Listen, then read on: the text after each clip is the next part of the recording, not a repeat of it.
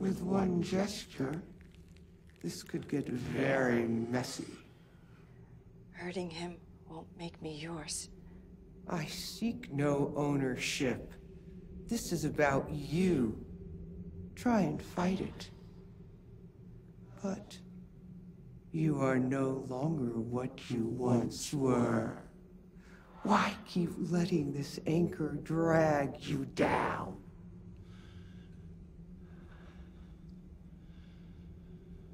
Because I love him. Die or thrive? The choice is yours.